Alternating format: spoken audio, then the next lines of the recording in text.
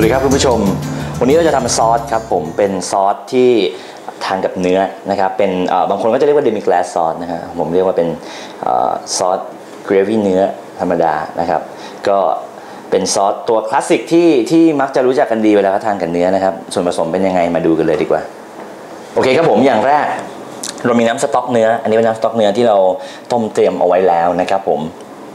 มีอันนี้ผมใช้เป็นต้นหอมญี่ปุ่นนะครับหั่นเฉพาะตรงขาวๆตรงที่ตรงที่กลิ่นแรงๆ หรือว่าคุณผู้ชมจะใช้เป็นหอมหัวใหญ่ก็ได้ แต่ว่าในที่นี้ผมใช้เป็นหอมญี่ปุ่น มีแครอทหั่นเต๋านะครับสังเกตนะชิ้นจะพอๆกันแครอทนะครับมี celery celery อันนี้ไม่ต้องปอกเปลือกนะหั่นเลยเพราะเราจะเอามาเอามาเคี่ยวเฉยๆเราไม่ได้กินมันโดยตรง มีผมมีเศษเนื้อนะครับอันนี้อันนี้เป็นทีเด็ดนะครับที่ที่อยากจะแนะนำเพราะว่าซอสเนื้อเรากินกับเนื้อ นะครับดังนั้นรสชาติมันจะต้องไปด้วยกันกับจานเนื้อผมก็เลยจะมีเศษเนื้อมาให้ซอสเรามันมีความเป็นเนื้อกลมกล่อมอยู่ข้างในนะครับผมมี bay leaf นะครับหรือว่าใบกระวานนะครับมีใบไทม์นะครับอันนี้เป็นใบไทม์สดออกจะเป็น lemon thyme คุณผู้ชมใบไทม์เนี่ยถ้าเกิดคุณผู้ชมใช้เป็นแบบสดนะครับ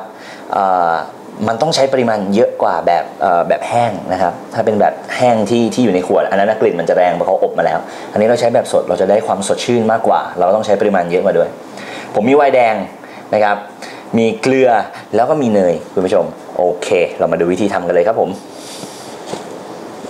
โอเคครับ มาเริ่มกันเลย ผมตั้งหม้อหรือว่าซอสแพนของผมนะตอนนี้มันร้อนแล้วเร่งไฟนิดนึงให้ร้อนจัดนะครับผมใช้น้ำมันนิดนึงคุณผู้ชมเป็นน้ำมันพืชธรรมดานะครับพอน้ำมันลงแล้วนะฮะพอหม้อเราร้อนจัดเนี่ยแป๊บเดียวเดี๋ยวมันก็ควันขึ้นละทีนี้พอมันร้อนจัด ผมลง เศษเนื้อของเราเลย เศษเนื้อลงไปแล้วมันจะติดนิดนึงนะฮะเพราะว่าในความที่มันร้อนแต่ถ้ามันร้อนจัดมันจะไม่ติดเท่าไหร่คุณผู้ชมไม่ต้องไปเขี่ยไม่ต้องอะไรนะปล่อยมันไว้เลย เราจะทอดให้มันได้สีให้มันแบบเอ่อเขาเรียกว่าบราวน์มันให้ให้มันแบบ เหมือนจะแบบอีกนิดเดียวจะไหม้นะแต่ว่าเพื่อได้กลิ่นและได้รสชาติในตัวของมันนะครับอืมต อนนี้กลิ่นดีมาก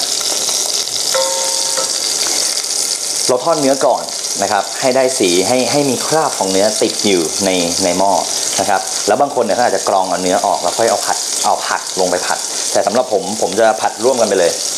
ไม่ต้องกรองออกเพราะว่าเศษเนื้อเรานิดเดียวเอาให้กลิ่น แล้วก็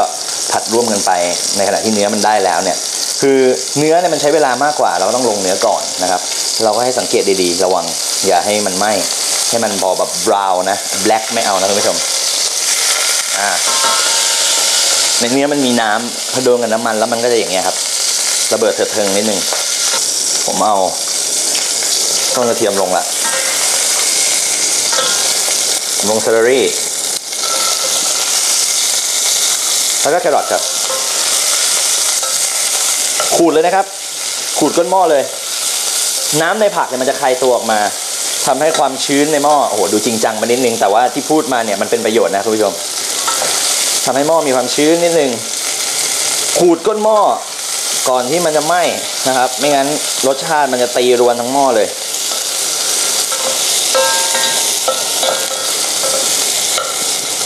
เห็นไหมครับ เห็นไหมเราขูดเราขูดมัน นี่แหละเคล็ดลับความอร่อยของซอสในอาหารฝรั่งเศสนะคุณผู้ชม เขาขูดอะไรก็ตามที่อยู่ในหม้ออะไรกระทะให้คุณผู้ชมกินเนี่ยแล้วคุณก็จ่ายแพงๆนะคิดดูแล้วกัน อันนี้เราคุยกันติดตลกนะ ถึงมันจะเป็นเรื่องจริงก็ตาม แต่ว่าไอ้ที่เขาขูดเนี่ยครับ ผมไม่รู้ว่าเราควรจะเรียกมันว่าอะไร มันเป็นเราเรียกว่าคราบแล้วกัน แต่ว่าภาษาฝรั่งเศสอะเขาจะเรียกมันว่าซุปโอเคครับ ทีนี้ผมจะเริ่มลงเบลีฟลงไปแล้วเอาไปผัดด้วยกันเลย ผมใช้หมดเลย เบลีฟ ผมมีใบชาม ใบชามเราใช้เยอะนิดนึง ผมโยนลงไปทั้งช่อเลยครับคุณผู้ชมเพราะว่าเดี๋ยวเราก็กรองออกอยู่ดี ผัดลงไปเลยเยอะๆโอเคนี่ผมใช้เยอะมากเลยในนี้โอเคอืมมันได้ความหอมความสดชื่นนะครับเนี่ยครับคูต่อไปเรื่อยๆ ผัดไปจนกระทั่งผักของเราอะมันนิ่มนะฮะส่วนเนื้อคุณผู้ชมไม่ต้องสนใจหม้อเนี่ยต่อให้เวลามันร้อนจัดนะคุณผู้ชมแต่เวลาเราใส่ออะไรก็ตามเพิ่มลงไปแล้วเนี่ย มันจะไป มันจะไปช่วยแชร์อุณหภูมิทำให้อุณหภูมิในหม้อมันลดลง แต่ถ้าถึงจุดสุดสุดแล้วเนี่ยเริ่มไม่เห็นว่าเฮ้ยเราจะใส่อะไรดีก็ใส่น้ำลงไปนิดนึงก็ได้เพื่อทำนั่นเซรีรันใส่น้ำลงไปเพื่อออหยุดความร้อนนิดนึงไม่ให้มันไหม้นะฮะโอเคครับ ตอนนี้ผักของเราส่งกลิ่นหอมเต็มที่แล้วนิ่มแล้วด้วยนะครับ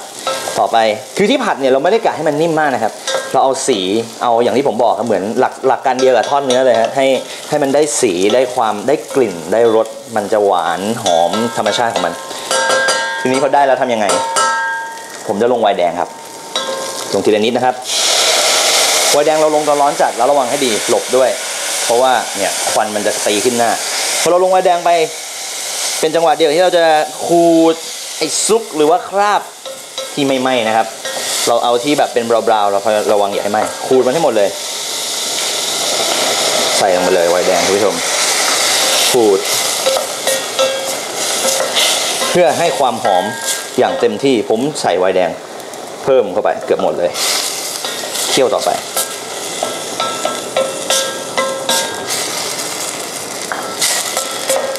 ไวน์เราก็จำเป็นต้องชิมนะครับ เพราะว่าไวน์แต่ละขวดไม่เหมือนกันอย่างขวดที่ผมใช้อยู่เนี่ย เหมาะมากกับการทำอาหารเพราะขวดไม่แพงประมาณ 300 ประมาณนั้น แล้วก็รสมันจะค่อนข้างเปรี้ยวคุณผู้ชม ต้องชิมดีๆถ้าเราใส่หมดเลยทีเดียวนะ ทิศทางของรสมันก็จะเป็นไปตามเครื่องปรุงเราครับ ถ้าเราไม่ชิมก่อนเราก็จะลำบาก ขั้นตอนนี้เขาเรียกว่า reduce คือเคี่ยวให้มันงวด คุณผู้ชมรู้ไหมว่าสาเหตุที่เขาเรียกว่าซอสเดมิกลาสอะความหมายในภาษาฝรั่งเศสจริงๆเนี่ยมันแปลว่าการลดลดจำนวนลงอะตัวยกตัวอย่างง่ายๆสมมุติว่าถ้าเขา ใช้ซอสเออไม่ใช่ซอสพูดผิดไวน์หนึ่งขวดเขาจะเคี่ยวจนมันมันเหลือแบบแทบจะไม่ถึงหนึ่งในสามด้วยซ้ำคุณผู้ชมอาจจะหนึ่งในสี่อะไรอย่างเงี้ยแต่ว่าเขาคิดราคาคุณผู้ชมเท่ากับปริมาณเต็มเราก็บวกราคาค่าค่าแรงอะไรเข้าไปดังนั้นนั่นคือสาเหตุว่าทำไมมันชื่อดิมิกลาสซอสมันจะแบบมันจะงวดมันจะดูข้นๆเพราะว่าเนี่ยครับเขาจะเคี่ยวไปเรื่อยๆอะตอนนี้ไวน์เราเริ่มงวดลงมาแล้วนะครับ ผมจะลงน้ำสต๊อกเนื้อแล้วครับคุณผู้ชม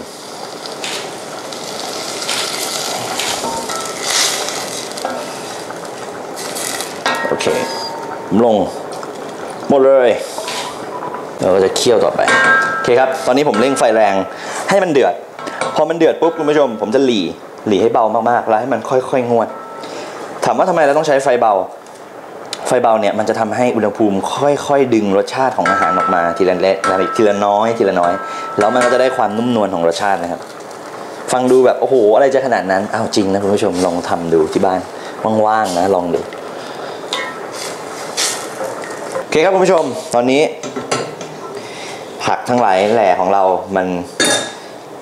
มันเปื่อยละนี่คือสิ่งที่เราต้องการ ผมจะกรองถ่าย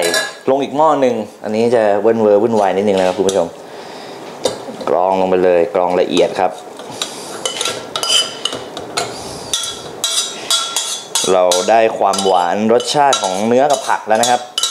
ทีนี้เราจะเคี่ยวมันต่อ โดยที่ไม่มีผักละ เป็นซอสเพียวๆ ผมเชื่อว่าคุณผู้ชมต้องบ่นอุบแน่เลยโอ้โห มันยุ่งยากหลายขั้นตอนจังเลยจริงครับ เป็นอย่างนั้นจริง ๆ และนี่คือสาเหตุที่ที่อาหารฝรั่งเศส อาหารยุโรปอย่างเงี้ยมันเป็นเขาเรียกว่าไงอะเป็นที่ยอมรับในแง่ของความพิถีพิถันนะครับ จริงๆนะครับถ้าคุณผู้ชมมีกระชอนตาถี่นะฮะมันถี่กว่านี้อีกนะ คือสามารถแบบบด ได้เลย แต่อันนี้ผมจะไม่บดมากครับเพราะว่าผมกลัวมันจะเละลงไปในในซอสของเรานะครับ นี่ผมก็ได้แต่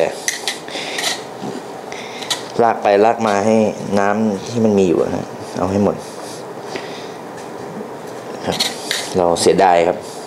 คุณผู้ชมใช่ไหมเนื้อเนี่ยพวกเนี้ยเราเคี่ยวจนแบบมันไม่เหลือรสแล้วกินเข้าไปมันก็เหมือนแบบ อารมณ์เสร็จๆแล้วนะแวบ เคอันนี้ผมเอาหลบไป ทีนี้ เราเคี่ยวต่อครับ เราเคี่ยวไฟอ่อน เคี่ยวจน จนมันเริ่มแบบ เริ่มข้นขึ้นนะฮะ แน่นอนปริมาณมันจะลดลงนะครับ แล้วเดี๋ยวพอถึงจุดหนึ่งเนี่ย เราจะใส่เนยเข้าไป โอเคครับ ตอนนี้ซอสเริ่มได้อย่างที่ผมต้องการแล้ว เป็นสีน้ำตาลเข้มข้นนะครับ อมทองสวยงาม ผมจะจบมันด้วยเนยแล้วนะครับ วันนี้ก็ใช้มือ โอเค ผมจริงผมหั่นเป็นก้อนเล็ก ๆ ไว้นะครับแต่อันนี้มันอยู่นอกตู้เย็นนะมันก็เลยค่อนข้าง เหลวไปนิดนึง ใส่เนยปุ๊บ แล้วเราก็ตีให้เข้ากัน จริงๆ ผมแนะนำคุณผู้ชมให้เป็นเนยเย็นนะครับ เนยเย็นแล้วลงมาปรุงกับซอสมันจะจะจะได้รสชาติที่ดีเข้ากันง่ายฮะชิมรสชาติหน่อย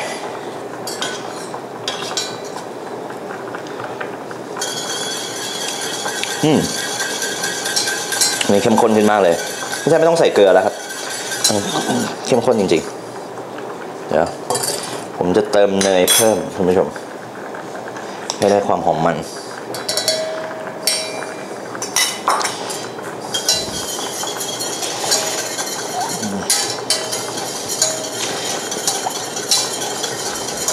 ใช้ตะกร้อตีนะครับ มันจะช่วยให้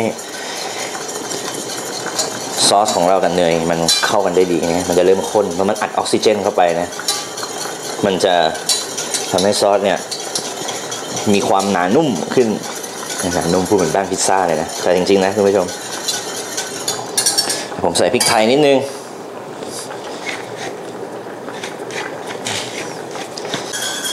โอเคครับ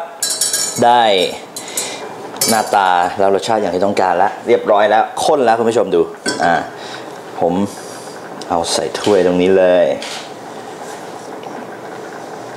อืมดูสีสันคุณผู้ชม ใส่ให้หมดไปเลยดีกว่า โอเค เห็นไหมครับ มันข้นมากเลยกำลังดี นะครับถ้าเกิดว่าเราไม่ reduce ให้มันข้นเนี่ยคือข้นเนี่ยมันจะเป็นซอสแต่ถ้าเกิดว่าเราให้มันบางกว่านี้เราเคี่ยวน้อยกว่านี้ก็จะกลายเป็นน้ำเกรวี่นะฮะจริงมันก็คืออยู่ที่สัมผัสของมันนะฮะโอเค เสร็จเรียบร้อยแล้ว ได้แล้วครับซอสเนื้อเอาไว้ทานกับสเต็กเนื้อของเรา demi-glace ซอสครับ